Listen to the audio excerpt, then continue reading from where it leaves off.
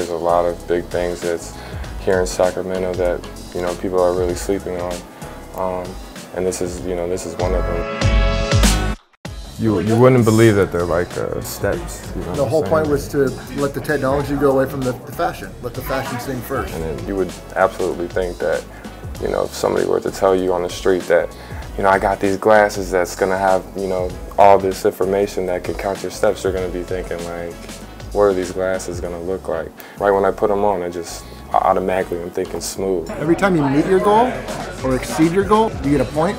Once you hit 50 points, you've just given away a pair of glasses and a complete eye exam to someone in need. You know, if you had glasses since you're a kid, that's what you do every morning. You put them on, so it's just you're always gonna have, you know, your steps being counted. I mean, it just puts VSP in like a, a different category. And y'all killed them, man. They, they look really good.